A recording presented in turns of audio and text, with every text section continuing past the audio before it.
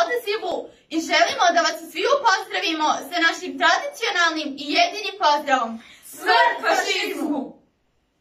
Danas smo se okupili u organizaciji udruženja antifašista i boraca Narodno-oslobodilačkog rata Bihać, kojeg predvodi Osman Handukić.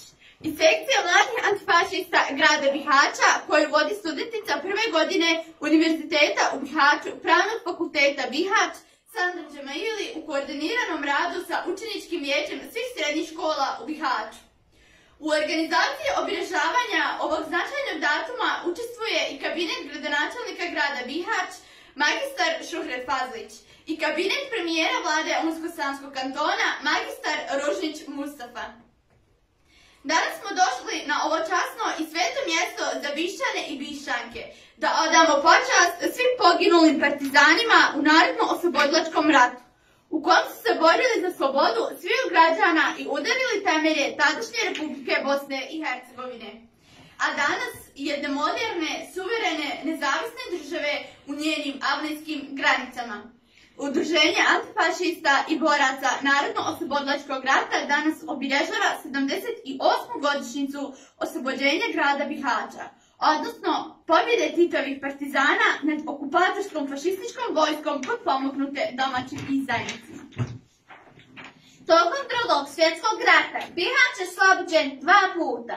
Prvi put 4. 11. 1942. godine, kada je komandant Kosta Nađ oslobodio Bihać od ustaških postrojbi, koje je snapravo neviđen zločin ili genocid na nevinim civilnim stanovništvom u Bihaću, gdje su od početka rata do prvog oslobođenja u trajanju do 18 mjeseci okupacije ubili, streljali i zaklali oko 12.000 civila iz Bihaća i njegovog okruženja.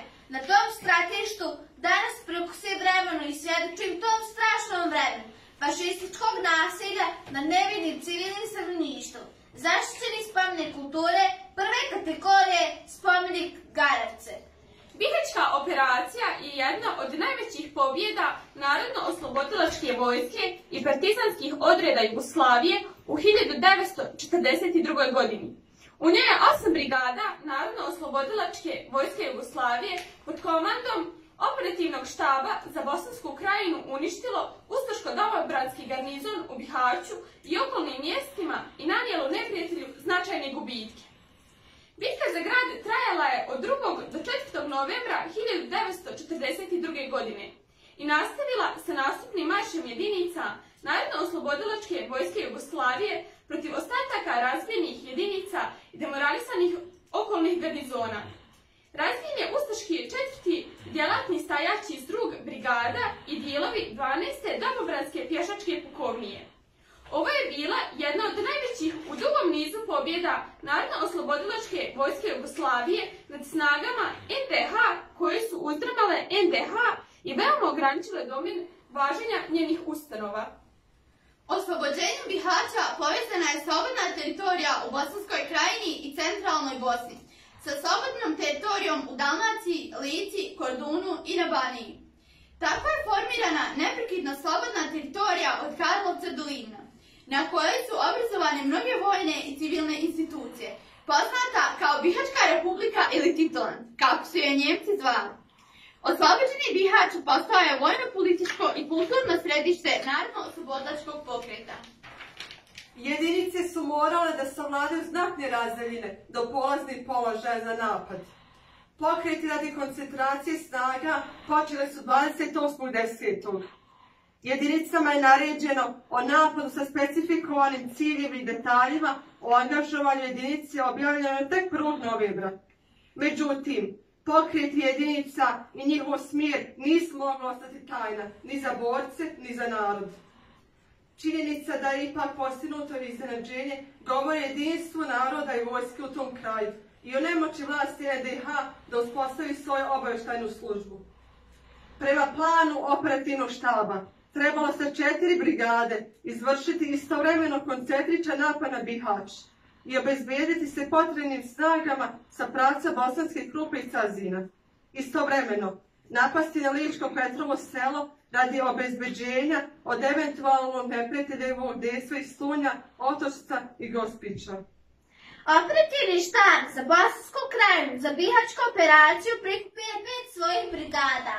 Prvu krajišku brigadu tri bataljona, drugu krajišku brigadu tri bataljona, treću krajišku brigadu sva četiri bataljona, petu krajišku brigadu sva četiri bataljona, šestu krajišku brigadu dva bataljona.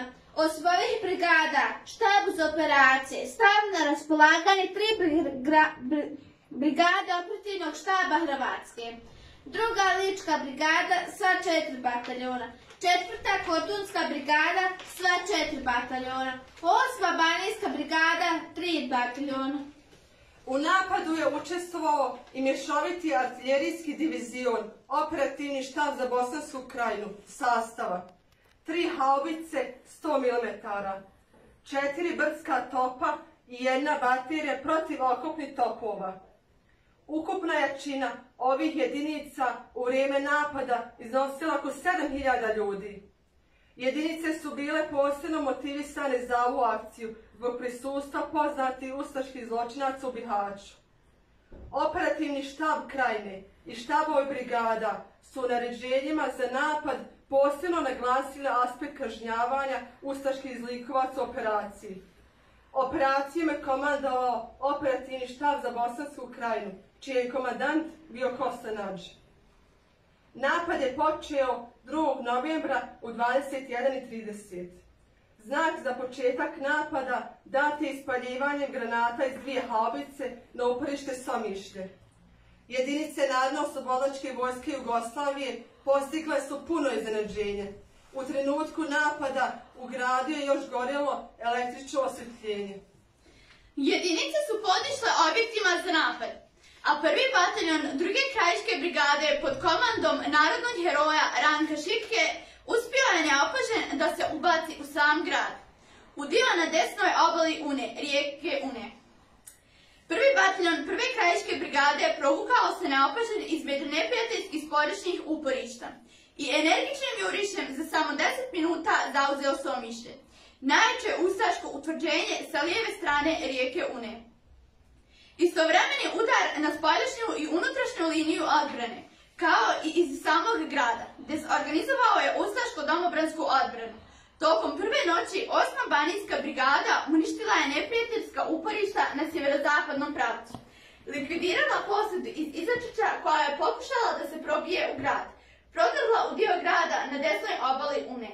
Zauzela željezničku stanicu i okolne objekte i povezala se sa drugom krajiškom brigadom. Druga krajiška prodrla je u dio grada na desnoj obali Une sa istočnog pravca čisteći usput manja neprijateljska uporišta. Tokom noći ove dvije brigade zapasile su celokupno područje grada u dvije utvrđene zgrade, iz kojih je neprijatelj još pružao otpor. Ovaj otpor likvidiran je tokom okupodne 3. novembra. U dijelu grada na lijevoj obali Une otpor je bio jači i organizovaniji. Prva i treća krajiška brigada likvidirala su spoljašnje utvrđenja, a najveći uspjeh bilo je za uzbanje Somišlja. S ovih položaja ove dvije brigade izvršile su napad na dobro utvrđeni ustaški logor u Žegaru.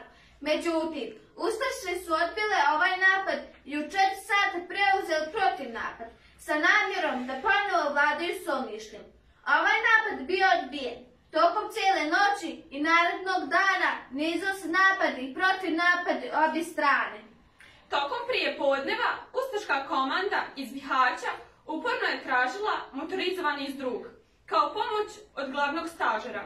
Ispade, ustaška, ispade Ustaša iz Bosanske krupe i Cazina u pravcu Bihaća uspješno su neutralisale šesta krajiška i četvrta kordonaška brigada. Glavni stožer domobranstva zatražio je pomoć od njemačke komande.